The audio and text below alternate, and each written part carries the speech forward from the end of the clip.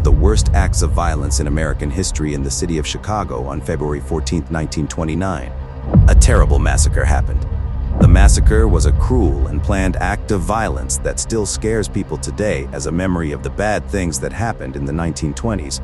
In today's video, we will explore the history of the St. Valentine's Day Massacre, examining the events leading up to the killings, the massacre itself, and its aftermath. We will also take a look at the key figures involved in the massacre, including Al Capone Bugs Moran and Jake Guzik. Let's get right into it. Between 1920 and 1933, there was a prohibition era.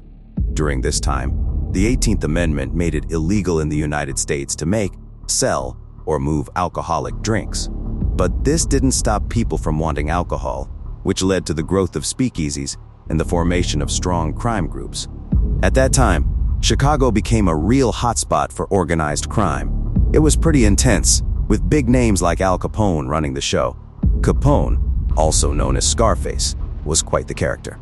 He was the tough-as-nails boss of the Chicago outfit, a major gang involved in all sorts of illegal activities like bootlegging and gambling. And on the other side, there was the North Side Gang, led by George Bugs Moran. The rivalry between the Chicago outfit and the North Side Gang was so intense. It later escalated, fueled by territorial disputes, power struggles, and, of course, the lucrative illegal alcohol trade. As tensions between the two gangs reached a boiling point, the stage was set for a violent and unforgettable event that would go down in history as the St. Valentine's Day Massacre. So, how did this infamous incident unfold? Seven members and friends of Chicago's North Side Gang were killed on Valentine's Day, 1929. This unfortunate incident later became known as the St. Valentine's Day Massacre. Boys, uh, something I can do for you? Yeah, you can shut up. I'll line up all of you. Face that wall. Uh, you, over there. On February 14, 1929, early in the morning, the guys got together at a garage in Lincoln Park, Chicago. Four people, two of whom were dressed as police officers, lined them up against a wall and shot them. The killings happened because the mostly Irish North Siders, led by George Bugs Moran, were competing with the mostly Italian Chicago outfit, led by Al Capone, to be in charge of organized crime in the city.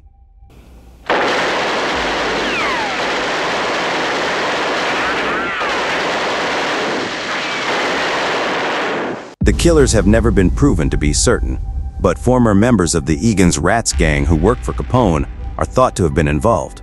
Some people also say that members of the Chicago Police Department who wanted to get back at someone for killing a police officer's son played a role. On February 14, 1929, at 10.30 a.m., which was Valentine's Day, seven men were killed at the garage at 2122 North Clark Street in the Lincoln Park neighborhood on the north side of Chicago. They were shot by four guys who had two Thompson submachine guns with them. Two of the shooters were dressed like police officers, and the others were dressed in suits, ties, overcoats, and hats. Witnesses witnessed the men in police uniforms leading the other men out of the garage at gunpoint following the incident. Five people from George Bugs Moran's North Side Gang were among the dead. Abel Kochelik, also known as James Clark, was killed along with Adam Heyer, who was the gang's bookkeeper and business manager, Albert Weinshank, who ran a number of cleaning and dyeing jobs for Moran, and Frank and Peter Gusenberg, who were gang guards. Two other people were also shot. Reinhard Schwimmer, a former eye doctor who became a gambler and gang member, and John May, a mechanic who sometimes worked for the Moran gang. When Chicago police got at the scene, they saw that the victim Frank Gusenberg was still alive even though he had been shot 14 times. After being transported to the hospital, he was stabilized by medical professionals for a brief period of time while the police attempted to question him. When the police asked him who did it, he reportedly said, I won't talk. For God's sake, get me to a hospital. Three hours later, he died. The massacre was basically an attempt to get rid of Bugs Moran, who was the leader of the North Side Gang. Al Capone, who was at his Florida home at the time, was pretty much believed to be the one who ordered that massacre. It seems like the reason behind the plan might have been the North Side Gang's decision to steal some pricey whiskey that Capone's gang was smuggling from Canada through the Detroit River. However, Moran was the last surviving member of the North Side gunmen. He had succeeded his equally aggressive predecessors Hymie Weiss and Vincent Drucci. who had perished in the bloodshed that ensued after the assassination of their original commander Dean O'Banion. The timing of the plan to kill Moran was influenced by a number of different circumstances. Moran and Capone were both trying to take over the rich bootlegging business in Chicago. Moran had also been moving in on a dog track run by Capone in the suburbs of Chicago. He had also taken over a few saloons that Capone ran, saying they were in his territory. Earlier this year, North Siders Frank Gusenberg and his brother Peter tried to kill Jack McGurn but failed. The North Side Gang was also involved in the murders of Pasqualino Patsy Lolordo and Antonio the Scourge Lombardo. Both had been heads of the Unione Siciliana, which was the local mafia, and were friends with Capone. The plan was to kill Moran and maybe two or three of his aides at the SMC Cartage building on North Clark Street on February 14, 1929. The Northsiders were probably drawn to the garage with the promise of a stolen, low-quality shipment of whiskey this whiskey came from Detroit's Purple Gang, which was linked to Al Capone. It was planned that the Gusenberg brothers would take two empty trucks to Detroit that day to pick up two loads of stolen Canadian booze. All of the victims were dressed in their best clothes, except John May. This was the custom for the North Siders and other gangsters at the time. By 10.30 a.m., most of Moran's gang had arrived at the warehouse, but Moran wasn't there because he had left his Parkway hotel room late. He and Ted Newberry, another member of the gang, were coming up to the back of the warehouse from a side street when they saw a police car coming up behind it. Right away, they turned around and went back the way they came to a nearby coffee shop. When they saw Henry Gusenberg, a member of the gang, on the street, they warned him and he turned around too. I'm already a rich man. Besides, I...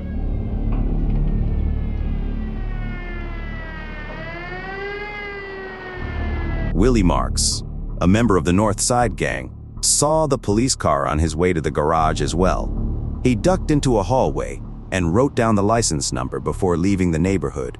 Capone's lookouts probably thought that one of Moran's men, most likely Albert Weinshank, who was about the same height and build as Moran, was Moran himself. It was even more confusing that the two guys physically resembled each other because they were both wearing the same color overcoats and hats that morning. People who were outside the garage saw a Cadillac car stop in front of the garage. Four guys came out and walked inside. Two of them were wearing police uniforms. With shotguns in hand, the two fake police officers went into the back of the garage and found members of Moran's gang as well as Reinhard Schwimmer and John May, who was working on one of the trucks. The fake police officers then told the men to line up against the wall and signal to the two people who were with them but weren't wearing police gear. They then opened fire on the men. One killer used a 20-round box clip and the other a 50-round drum to fire their Thompson submachine guns. They were very thorough, spraying their victims all over the place. They kept firing even after all seven of them had fallen to the ground. Based on the coroner's account, two shotgun blasts afterward pretty much erased John May and James Clark's faces. After they were done shooting, the two uniformed police officers pushed the guys in street clothes to come out with their hands up to make it look like everything was under control. May's dog Highball and Frank Gusenberg were the only ones who made it out of the building alive, even though Frank was hit 14 times by bullets. He was still conscious, but he died three hours later, refusing to identify the killers. The Valentine's Day massacre caused a public uproar that made things hard for everyone in charge of the National Crime Syndicate. Within days, Capone was asked to appear before a grand jury in Chicago on charges of breaking federal prohibition laws, but he refused because he said he was too sick to attend. Everyone knew that Moran was taking Capone's liquor shipments to Detroit, so the cops focused on the Purple Gang, which was mostly made up of Jews in Detroit. Many people also thought that the cops were involved in the massacre, which may have been what the killers wanted. Mrs. Doody and Mrs. Orvidson, who were landladies, had taken in three men as roommates 10 days before the killing. The North Clark Street garage was right across the street from their rooms. Mrs. Doody, my friend here and me, we're looking for a nice front room. When the police asked them to identify the men, they chose mugshots of George Lewis, Eddie Fletcher, Phil Keywell, and his younger brother Harry, who were all members of the Purple Gang. Later on, they changed their minds about who the men were. However, Fletcher, Lewis, and Harry Keywell were questioned by the cops and found not guilty. On February 22nd, the police were called to a garage fire on Wood Street and found a 1927 Cadillac sedan that had been taken apart and partly burned. They were convinced that the killers had used the car. They traced the engine number, and it led them to a dealer on Michigan Avenue who said he sold the car to a man from Los Angeles named James Morton. They also found out that a man named Frank Rogers rented the garage. However, the police couldn't find out anything about James Morton or Frank Rogers. Sometime later, the police got a lead on one of the killers. A truck driver named Elmer Lewis had hit a police car on the side just minutes before the killings. He told the cops that he stopped right away, but the uniformed driver, who was missing a front tooth, waved him away. Someone who witnessed the accident also said the same thing about the driver. The police were sure that the person they were talking about was Fred Burke, who used to be in Egan's Rats. Burke and a close companion named James Ray were known to wear police uniforms whenever on a robbery spree. Burke was also on the run because he was wanted in Ohio for robbery and murder. Police also thought that Joseph Lolordo might have been one of the killers because the Northside gang had just killed his brother, Pasqualino.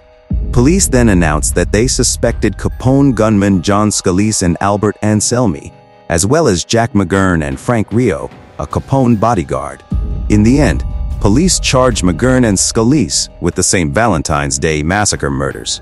However, Capone learned of a plan to kill him, so he killed Scalise Anselmi and Joseph Hop Toad Giunta in May 1929. The murder charges against Jack McGurn were dropped because there wasn't enough proof. He was only charged with breaking the Mann Act because he took his girlfriend Louise Rolfe across state lines to get married. The case went nowhere until December 14, 1929, when the Berrien County, Michigan Sheriff's Department raided the home of Frederick Dane in St. Joseph, Michigan. Dane was the registered owner of the car that Burke drove Burke had been drinking that night, and he then hit another car from behind and drove off. Patrolman Charles Skelly chased him and finally got him to leave the road. Even though Skelly jumped on Burke's car's running board, he was shot three times and died that night. The car was found wrecked and abandoned just outside St. Joseph and traced to Fred Dane. By this time, police photos confirmed that Dane was in fact Fred Burke, wanted by the Chicago police for his participation in the St. Valentine's Day massacre. When police searched Burke's bungalow, they found a big trunk with a bulletproof vest, two Thompson submachine guns, pistols, two shotguns, and thousands of rounds of ammo. The bonds had been stolen from a Wisconsin bank not long ago and were worth almost $320,000. The officials in St. Joseph told the Chicago police right away, who requested both machine guns. They used the new science of forensic ballistics to identify both weapons as those used in the massacre. They also found out that one of them had been used to kill New York gangster Frankie Yale 15 months before. Sadly, no new solid proof came to light in the massacre case. After more than a year, Burke was caught on a farm in Missouri. He was tried in Michigan and given a life term because the evidence against him was strongest when it came to the murder of Officer Skelly. However, in 1940, he died in jail. The Federal Bureau of Investigation searched a Chicago apartment building at 3920 North Pine Grove on January 8, 1935, for the last members of the Barker Gang. An argument turned into a short shootout that killed bank robber Russell Gibson. People like Doc Barker and Byron Bolton, along with two women, were locked up. Bolton was in the Navy and worked with Egan's Rats. He had also been working as a driver for Chicago hitman Fred Goetz. Bolton knew about many of the crimes committed by the Barker gang and revealed where Ma and Freddie Barker were hiding out in Florida. A week later, both of them were killed in a shootout with the Federal Bureau of Investigations. Bolton said that the St. Valentine's Day massacre was something he did with Goetz Fred Burke and a few other people. The Federal Bureau of Investigations didn't have any power over a state murder case, so they didn't tell anyone about Bolton's statement until the Chicago American newspaper printed a version of it that was passed along. Newspapers said the crime had been solved even though J. Edgar Hoover and the Federal Bureau of Investigations wouldn't let them work on the case of the killings. The news across the country reported Bolton's story in jumbled ways. It was said that Bolton said the plan to kill Bugs Moran was made at a resort held by Fred Goetz in Couderay, Wisconsin, in October or November of 1928. Gangsters including Goetz, Al Capone, Frank Nitti, Fred Burke, Gus Winkler, Louis Campagna, Daniel Serritella, William Pacelli, and Bolton were all at this meeting. The men stayed for two or three weeks making plans to kill their enemies. Bolton said that he and Jimmy Moran were told to keep an eye on the SMC cartage yard and call the killers at the Circus Cafe when Bugs Moran showed up to the meeting. The police later found a letter written to Bolton in the lookout nest. Bolton guessed that Burke, Winkler, Goetz, Bob Carey, Raymond Crane Neck Nugent, and Claude Maddox were the real killers. The story Bolton told about the killing is different from the story most historians tell. He claimed to have seen only plainclothes guys get out of the Cadillac and enter the garage. So, this means that the killers used a second car. However, George Brichet said he saw at least two guys in uniform get out of a car in the alley and go into the garage through the back doors. Bolton revealed that he thought one of Moran's men was Moran. He then called the Circus Cafe to let them know what was going on. The killers were planning to kill Moran and two or three of his men, but when they arrived, they found seven men instead. They decided to kill them all and leave quickly. Bolton said that Capone was very angry with him for the mistake and the pressure from the cops it caused. Capone even threatened to kill Bolton, but Fred Goetz stopped him. Georgette Winkler Gus's widow backed up his claims in an official Federal Bureau of Investigation statement and in her diaries, which came out in a four-part series in a True Detective magazine in the winter of 1935 and 1936. She told them that her husband and his friends had put together a secret group that Capone used for dangerous jobs. They were called American Boys by the mob boss, who was said to have had complete faith in them. A police officer in Chicago, William Drury, who had worked on the massacre case long after everyone else had given up, also agreed with what Bolton said. Despite Bolton's confession, the FBI did not do anything. Most of the guys he named were dead by 1935. Only Burke and Maddox were still alive. A lot of mobsters were named as being on the Valentine's Day hit team. John Scalise and Albert Anselmi, two hitmen for the Cosa Nostra, were two main suspects. People heard Scalise bragged, I am the most powerful man in Chicago, in the days after the crimes. Unfortunately, Scalise Anselmi and Giunta were found dead on May 8, 1929, on a lonely road near Hammond, Indiana. It is believed that Capone found out that they were going to turn on him. So Capone killed the three with a baseball bat at the end of a dinner party held in their honor.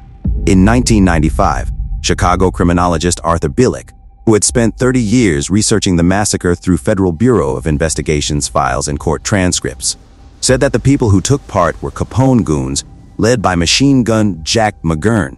Jack McGurn put together the murder team, which included lookouts Byron Bolton, Jimmy Moran, and Jimmy McCrussen.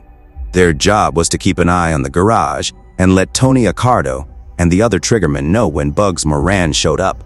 Bilek claimed that Claude Screwy Maddox was another part of the team. He got the killers a car that looked like one the police use. Once the scene was set, Capone and McGurn came up with the story Capone left for Florida, and McGurn and his wife Louise Rolfe checked into a hotel. The massacre was the start of the end for Moran's power. But with the gang members he had left behind, Moran was able to keep control of his land until the early 1930s. Capone and his crimes finally got the full attention of the federal government because of this event. It was this that finally brought down Capone. He was found guilty of income tax fraud in 1931. The massacre put an end to both Moran and Capone's bloody turf war, which had been going on between them. This crime never had a clear conclusion. Even now, it's still a real murder mystery. The gunmen were never caught, and Al Capone was never arrested for the crime. Al Capone did go to jail for seven years because he didn't pay his taxes.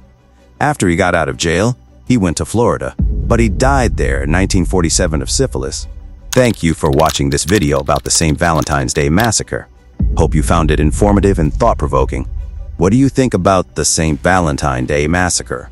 Do you think it could have been prevented? Please leave your thoughts in the comments below. Don't forget to give this video a thumbs up and share it with your fellow history enthusiasts. Subscribe to Crime State for more riveting stories from the past. And until next time,